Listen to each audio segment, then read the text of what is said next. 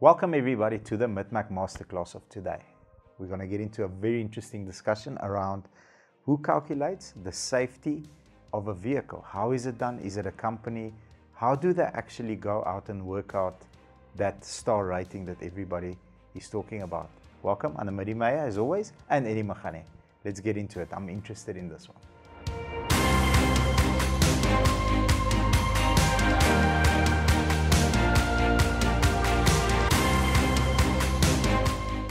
Think at different levels of your life, at different purpose levels of your life, you know, stuff like this actually starts to matter because when you're young, you're buying that GTI not for the safety features. No, no, no. You must just tell me it's fast.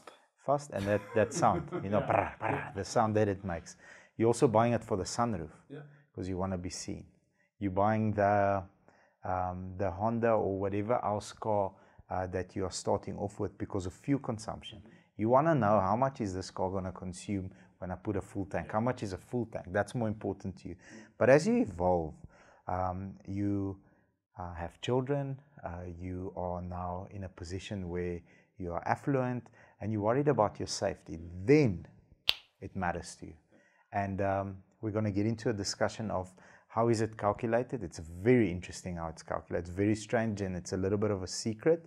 We're going to get into the first ever car to receive a zero rating, and who are the two manufacturers that received a five star rating last year, 2021. Are you ready? Ready. Let's get into it. Okay, the company is called Euro NCAP. They use a very strange formula which is top secret and it evolves the whole time. So if you got a five star rating in 2021, it's not necessarily going to be a five star next year because they need to up the standard the whole time, which makes everybody compete for that five star. It's a brilliant marketing strategy. However, it's not necessary to have a NCAP, Euro NCAP rating. But would you buy a car without one at the level of life that you are now? No. No. Not at No, that's a that's a that's the right answer. At 18, Safety features are sort of on the on the priority list right there at the Yeah, back but I hope there's of the good involved. boot space. Yeah, but obviously if you if you are blessed enough and and parents can give you advice, hundred percent. Yeah, by that time, the driver is more unsafe than, than any feature in the car. Absolutely. yeah, that's the unsafest part of the car is the driver, the instrument behind the steering wheel. beautiful, beautiful note. So it's four factors.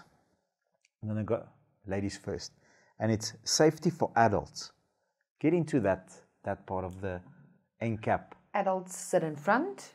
Um, you've got a different body design than the children at the back. Or at the back, yeah. Yeah, Or at the back, Or but, your body is because your body is different, um, and you need to be able to take the impact, and that's the reason why it's important for.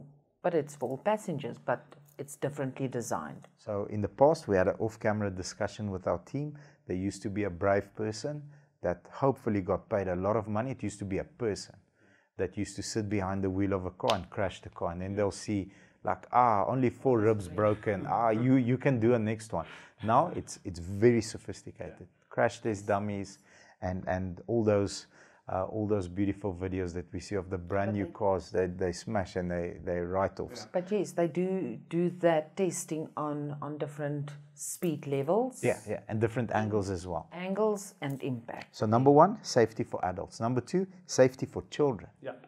Um, remember, our, our families aren't the same. I see some parents, um, that excludes me, gets bullied by their little ones. Yes, to sit wherever they want. yeah. So you don't get bullied by the little ones. No, no, no, no, no, no. It doesn't happen in my car. but features like ISOFIX, um, being able to to to um, Secure the seat. sec- yeah, secure the baby seat, windows, door handles, that locker button there, just to make sure that you, the driver, are aware of everything that's going on in the vehicle. I mean, with the little ones, when you're driving with them, you can you can have them, um, you can have the seatbelt on, you can have a, si- a six-year-old seatbelt on now. But as you're driving, you don't know what might happen in the next few minutes. They, they most likely, you're most likely to just find them on your dash on your dash when you're braking. Yeah. You know, so you you need you need those fe- features to help you. So it's a definitely a good guidance as to how safe a vehicle is. Number three, I'll grab this one because it's an interesting one. They actually measure the, the damage or the impact on a pedestrian as part of the Euro NCAP award. So, how severe is your injury to your knees, to your pelvis, to your chest? And um, you know, another off-camera discussion. I think it was Volvo. I could be I could be wrong, but I think it was Volvo that came up first with pedestrian airbags. So if you're driving a Volvo and I'm not looking correctly left and right, and you hit me, the chances are an airbag is going to deploy when you hit me, which is awesome, and that's why they rate very high. I think it was Volvo. I, I know it, it was not a Toyota Tazz. I had I had one. No, it didn't have. I actually owned one. So yeah. So with the front so smashes, I had I had to replace the bumper many times, and we never found the airbag there. So Beautiful.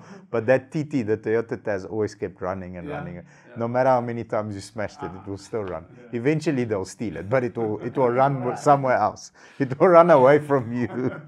Number four the level of safety technology on the vehicle is also a factor that they use to calculate Very much I'll, I'll bring up Volvo again. Yeah. It, it, didn't even allow you to drive if you, if, if you smelled like alcohol.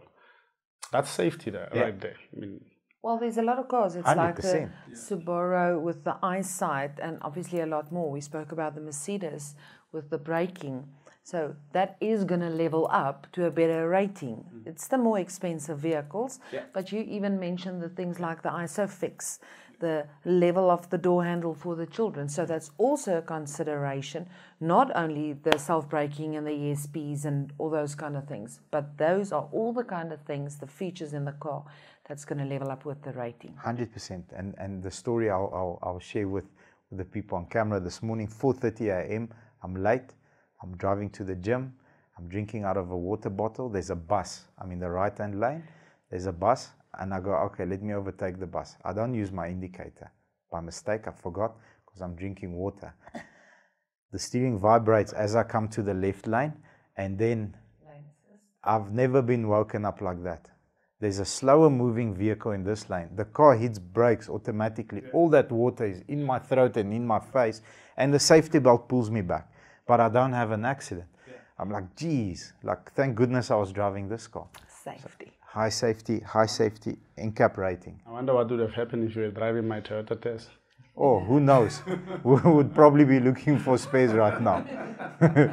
probably, definitely be looking for space. So, is there ever, or has there ever been a car that had a zero NCAP award? What do you guys think? Yep. There is. And, and unfortunately, it was pulled back quickly because obviously the manufacturer saw listen, there's a design flaw. We need to pull back this product. The manufacturer is known for building great vehicles. They had a oopsie there. They measured it against what's acceptable and they pulled it back. And that was a Fiat Punto. Yeah. That was the first zero. And funny enough, the car. According to our research. The car did sell. That, yes. that shows you yes. we, we don't even look at these things because I mean, there was already quite a number of them on the road by the time they were pulled back. Yeah, yeah, 100%. And again, maybe targeting a demographic that's not really worried about yeah. NCAP safety, worried about something else. For 2021, we found two vehicles that have a five star rating. It's very, very hard to achieve. First vehicle was a VW Caddy. Yeah. Can you believe it?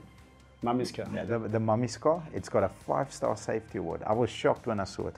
As well, a car that I really like is a Nissan Qashqai. 2021 Nissan Qashqai is a five star safety award. Amazing. I, I love both cars. They both drive well. And now I know that they're both one of the safest cars and on the road. That proves the point that I said your more expensive cars, like we mentioned Mercedes and the Volvos, is the one with the higher rating. So it's not necessary. There you can see.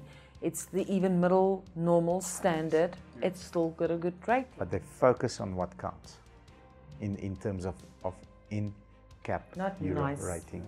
Not nice to haves, but safety. Safety, yeah, 100%. We found this topic very interesting. I hope you guys did too. If you want to educate someone on how it's calculated, please share. Also, hit the like button and subscribe. And ring the bell. And ring the bell. Take care, everybody. Bye bye. Thank you, team.